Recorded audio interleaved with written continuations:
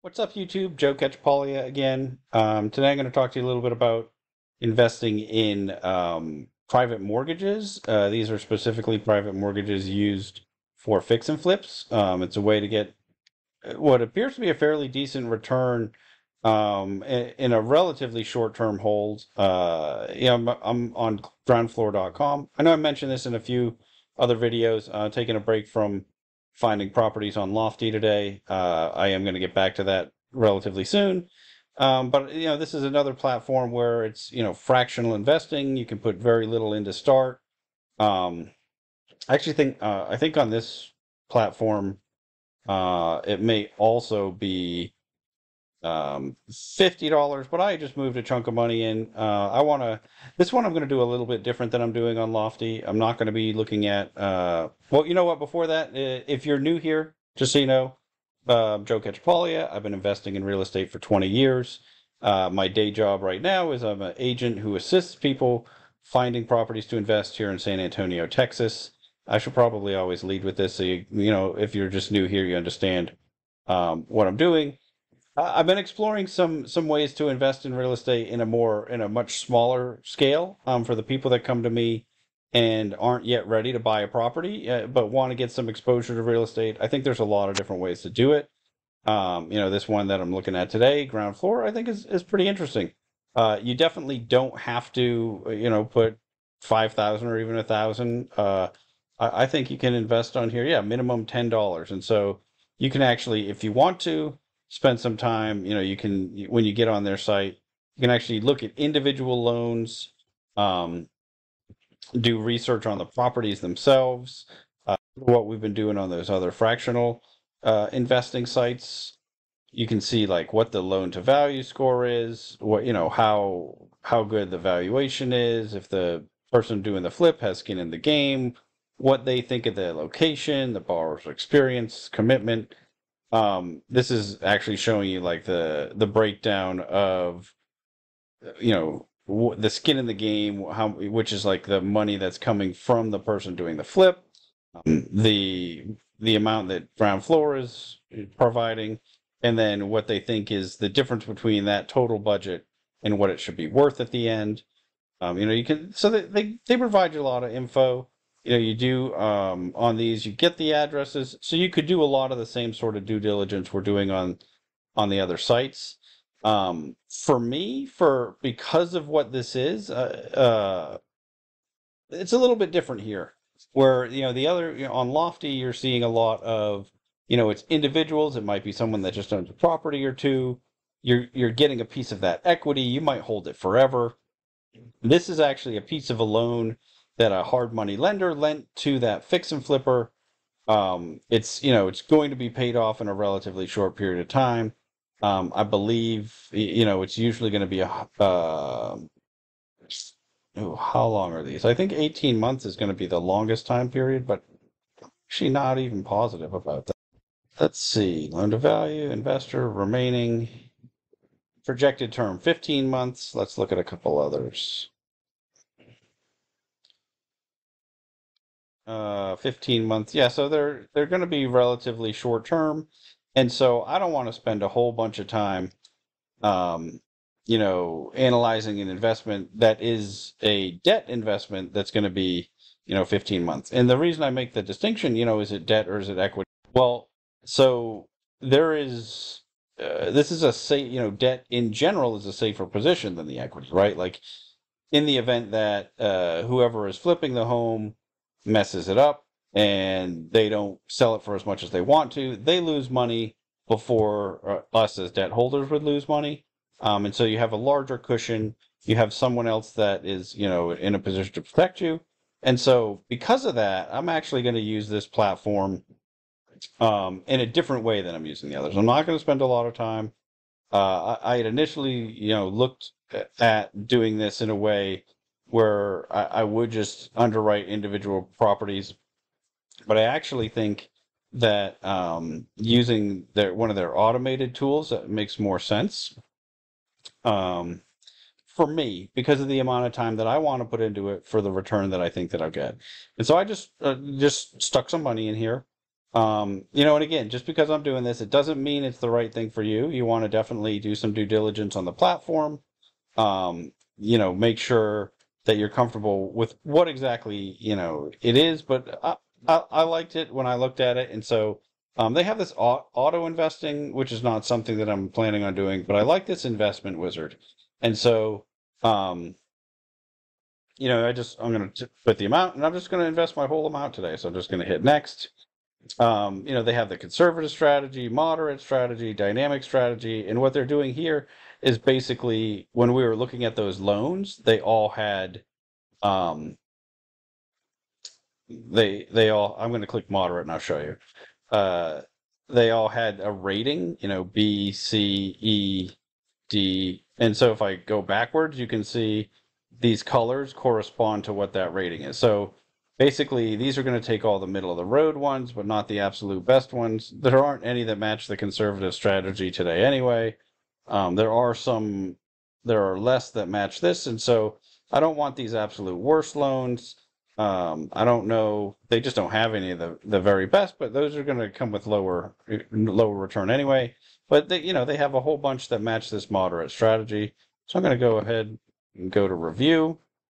Um, and it just so it just automatically picked an amount for each of these that it's going to invest that it's suggesting that I invest.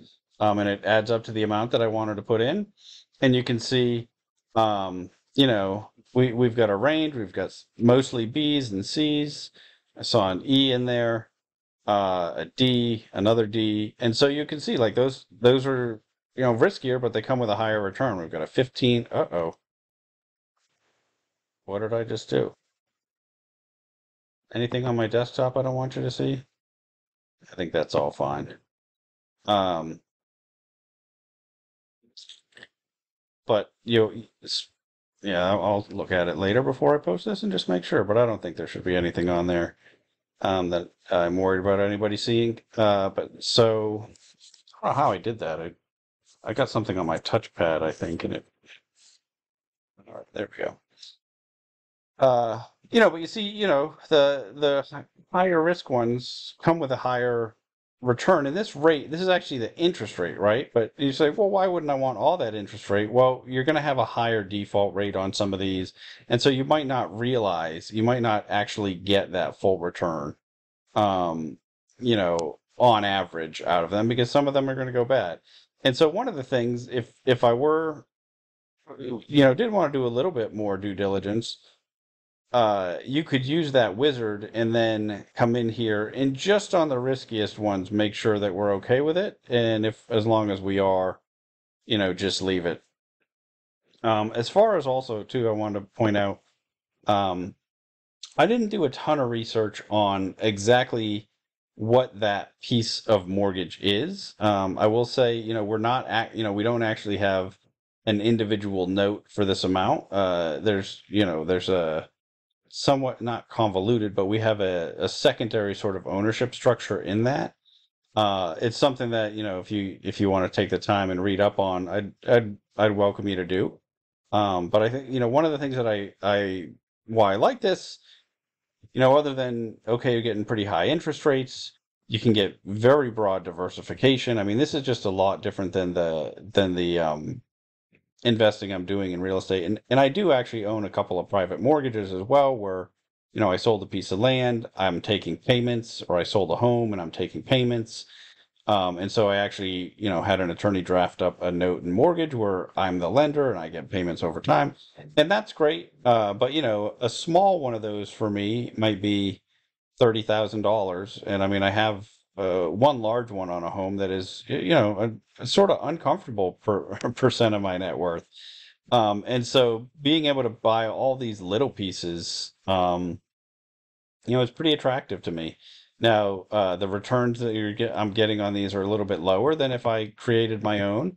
Um, but you know, it, it's still something that I think, uh, you know, uh, I'm I'm creating some some you know asset class diversification, but also some like uh the type of investing it is. It's it's just a little bit different. So yeah, I have no control over these if they go bad, but I also I don't have to deal with them if they do, and so I can make a hundred and eighty dollar investment and trust that you know somebody else is going to go after this person if they don't pay. It's not it's not my job.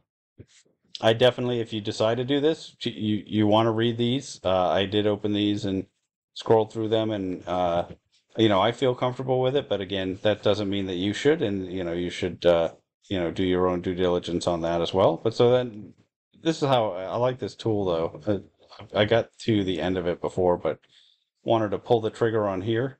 Um, there we go. Congratulations, you successfully invested blended rate. So it tells you me my blended rate across all these loans. Um, you know, I think this is this platform. I'm not going to spend nearly as much time talking about as I am on the ones where I'm doing individual due diligence on properties.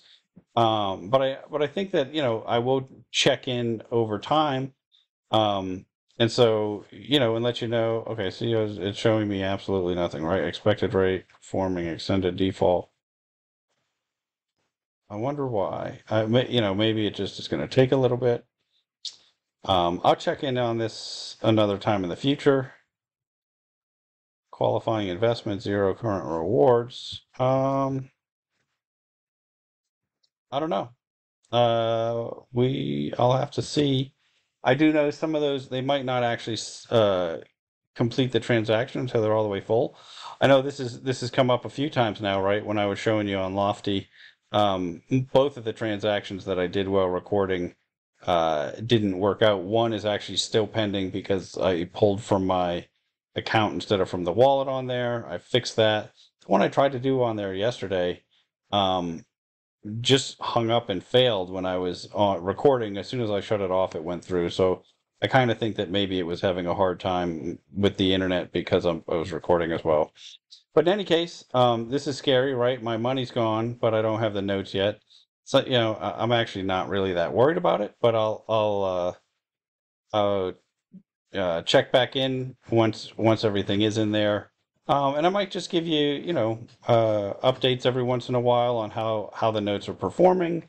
Um, one of the things, you know, I won't really know for 15 months, right? And so this is definitely a a long term project uh, and something that um, you know, like I said when I started doing videos again, is there's a lot of different ways to invest in small, you know, small amounts of money in real estate, and I'm going to just start experimenting with a bunch of them.